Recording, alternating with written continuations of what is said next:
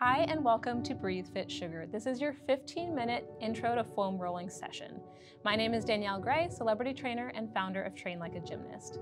Whether you're new to foam rolling or you want to add something new to your routine, this is going to be a great session for you to change it up. All right, so to start, let's take a deep breath in.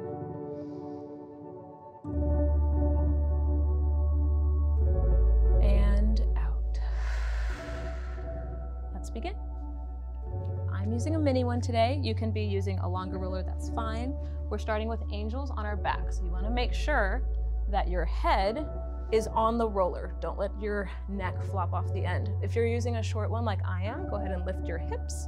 If you're using a long one, it should be on your tailbone as well. From here, palms are up, and you're gonna make angels on the floor. Bring your arms all the way up overhead. Try to touch your thumbs together and then breathe out as you bring it back down. Something to keep in mind as you're doing these angels is keeping your low back pressed into the roller, or if your hips are up like mine are, keeping your core engaged. You've got just a little bit left here, but think about breathing in every time you go up and breathing out every time you come down. Let it relax, okay? Drop your hips, or bring the roller out. You're gonna bring it to the side now into T-spine twists. So you're gonna lie on your side. Your arm's gonna be out in front. The roller is parallel to your body. Your knee to your ankle is in line with the roller, and then you're gonna breathe out as you rotate and try to get the opposite shoulder on the ground. The bottom leg can be bent or straight. You're probably gonna do two to four reps here. Treat it like a stretch, not like an exercise, and work with your breath. When you return back, go ahead and switch to the other side. If you want a little bit more of a twist in your spine, you can move the roller and you can bring your knee to the floor. All right? So, arms in front, bring it out. Breathe. You might get some cracks and pops. Just listen to your body, do a body scan from head to toe here.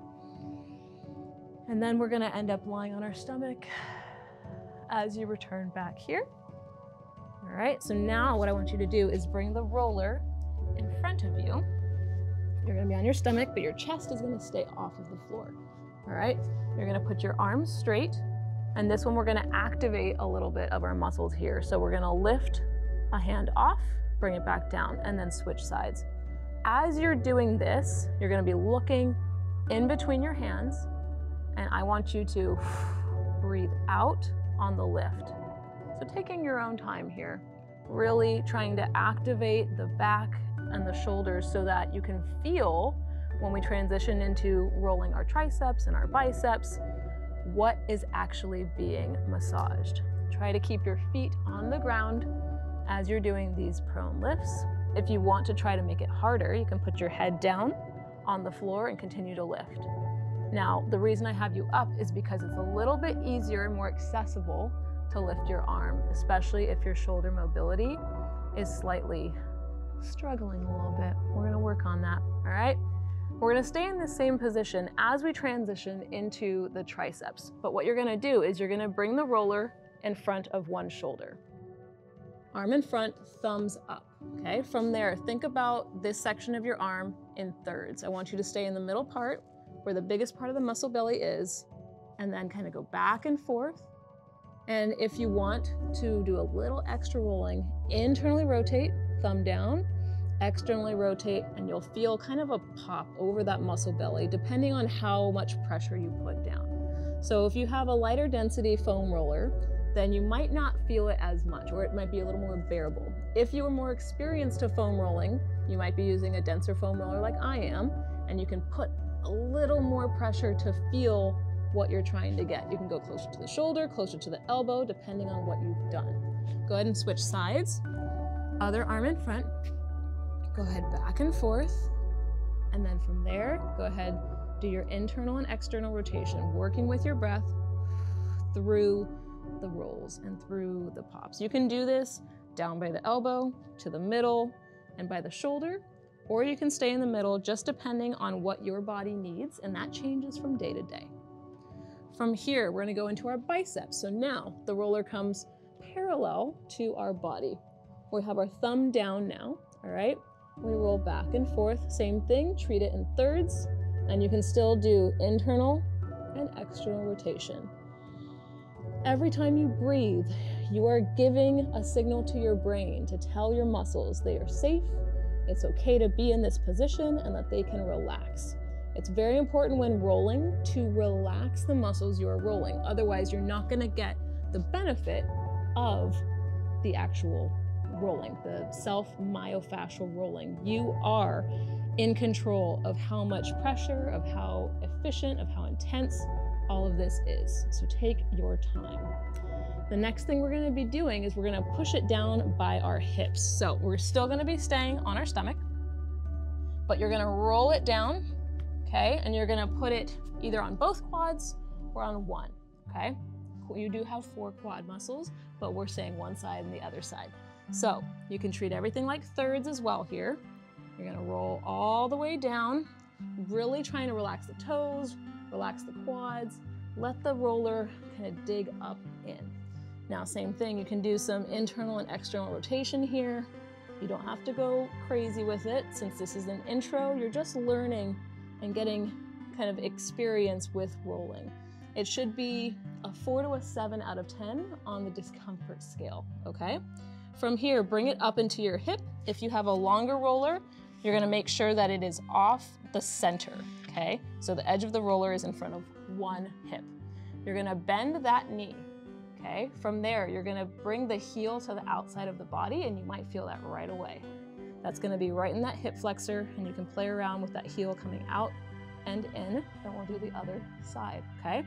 So other side, whether you're rolling it fully on that side or you're going into the hip flexor.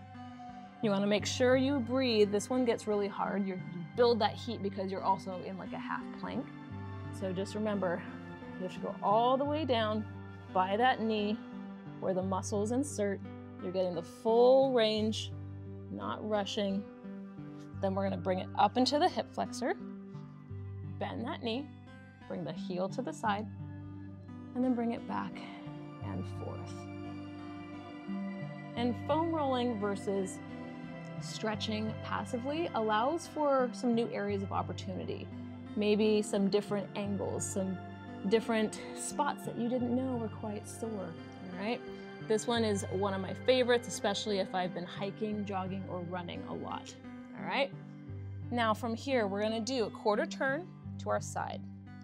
We're gonna bring the roller right under our armpit, so right in that spot you might be able to feel it in your back if you kind of roll back a little bit. It's right behind the shoulder. We're not on bone. We never roll on bone.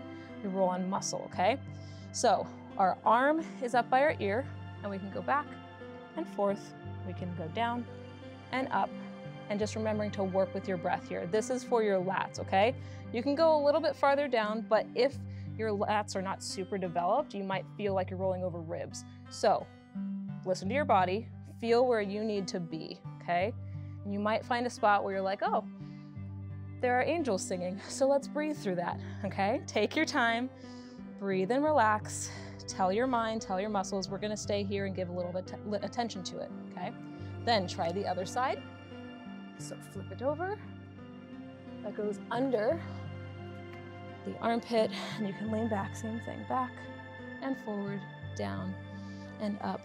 Breathing, relaxing, getting into that spot that maybe you haven't touched. Maybe it's new and it's very sensitive, so breathe.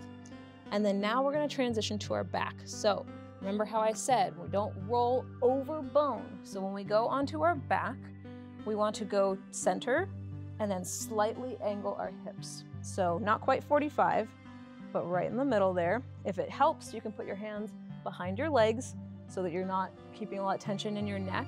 Your core should be helping you a little bit too. So foam rolling is not only just rolling, you're also doing a little bit of core work as well. So I want you to roll down by the low back through the mid back into the upper back, staying off of that bone, treating the back in thirds, okay? Then from there, we're gonna kind of shift and lean to the other side. You can have your hands behind the legs, behind your head, or overhead, depending on what feels best for you. So much of rolling is experimentation. If you feel like you're slipping, you can always readjust. You can move, you can bring your chin to your chest, but finding those spots that are really going to help you relax and release. This should feel very regenerative. There's nothing wrong with rest days. There's nothing wrong with taking a day to roll if you're super sore. That's your body telling you it needs to rest. And by you giving it that attention, you're gonna be able to perform so much better, okay? Now, what I want you to do from that middle, remember we're not rolling, we're gonna go to the center, our hands are behind our head, and from here, we're just gonna relax maybe two inches down, and then breathe out and curl up. We're not doing a sit up, we're just letting the roller press into the structure and come back up. You can roll down a little bit, give me about two more, relax, one more. Inhale on the way down and out as you come up. Beautiful. Now we're transitioning into our hamstrings and glutes. Now you have three different hamstring muscles and we're still segmenting by thirds, all right? So since I have a mini roller, I'm gonna do one side at a time. If you have uh, a longer roller, you can do both at the same time or you can cross the leg over to make it more intense. So from here, by the knee, by the middle of the muscle belly, by the insertion under the glutes. I'm in the middle, okay? I can internally rotate my leg and do the same thing. I can externally rotate my leg and do the same thing. You might find one part of your hamstrings is a little bit tighter or a little more sensitive than others. Give it some attention and then move through while you work with your breath. Right? We'll do the hamstrings and the glutes on one side, and then we'll switch to the other. So from here, since I'm on my right leg, I'm gonna pull the roller back to my right glute. I'm gonna sit on the roller with my right glute, cross my right leg over. Everything is right, okay? And I'm gonna tilt my right knee down to the floor. Then from there, I'm gonna roll, and you should feel that right away. Breathe through that. You can play around with rolling and rocking. You can play around with moving forward and back, but this, especially if you hike or you run a lot, this is a great one to do because those muscles are gonna be a little overactive, okay? Let's try the other side. So let's go to the other hamstrings, all right? So left leg, now I'm going from the bottom of the hamstring where it inserts behind the knee, going to the middle, taking my time, and then right where it inserts under the bottom. From there, you can internally rotate and externally rotate. Go at your own pace, finding the spot that's gonna work for you. Maybe right in the middle is good. If you want that more intensity, you cross that leg over and it's gonna it's gonna increase. You're gonna feel it. If you're like, nope, that's not for me, then you stay here and you adjust. If your wrists are starting to hurt, you could start to use uh, parallettes or something that's gonna make it not bend over 90 degrees. All right, go ahead to the glute from there, cross that leg over. Now you're gonna tilt to the left if you're with me. You're rocking back and forth here. After this, we're going down to the calves and we'll finish with a beautiful low back stretch because I know that's what everybody wants and needs. Take your time. Now, calves. If you are sore in your calves, you're going to discover right away this is very intense. If you're not sore in your calves, just just take today to learn. So I would recommend doing one at a time. You can do both on a roller uh, if that helps, but I think one at a time, you can kind of adjust the intensity. So in thirds down by the ankle, internally and externally rotate. We've got a bunch of different muscles down there, especially since your feet are the only things that touch the floor when you walk, unless you're a gymnast and you're on your hands. Um, you need to take care of your legs, your lower legs especially. Start to work your way up towards the bottom of the knee, top of the calves, giving that internal external rotation. If you need a break here, you can do this through your hip and keep your bottom down, but you will feel that heat building, okay? Take your time, kind of like when we did the uh, triceps where we internally, external rotated. You can do that with your calves too. If you watch, you'll see that little is going over the muscle belly. So I'm trying to dig and release and relax through that muscle. Try your other side, okay? down by the ankle, taking your time, looking and connecting with your body, breathing, sending those signals to relax, and then slowly working your way up, adding the right amount of pressure that you need. And then you can do the internal external rotation, feeling the little movement through the muscle belly. Awesome. All right. From there, you can put your foam roller to the side. We're gonna finish with that low back stretch. So you're gonna be in a butterfly position. All right. So your feet are together. And you're gonna sit up really straight. Your left hand is gonna go to your right ankle. Your right hand is going to go behind your head.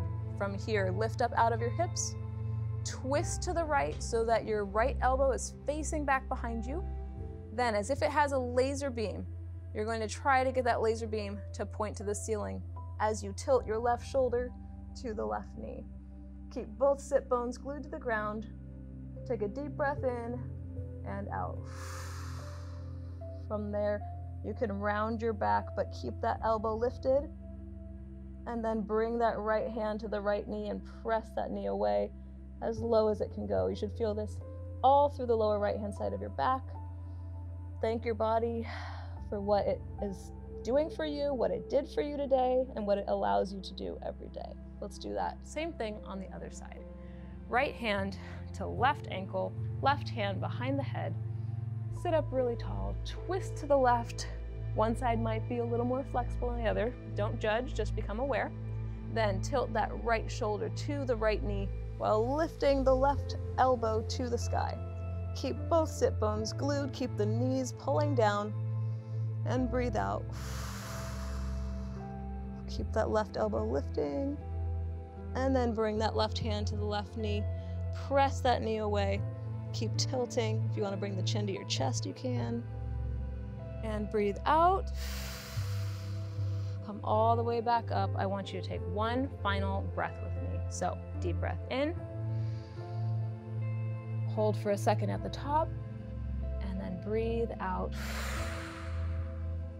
Release everything. I want to thank you so much for rolling with me.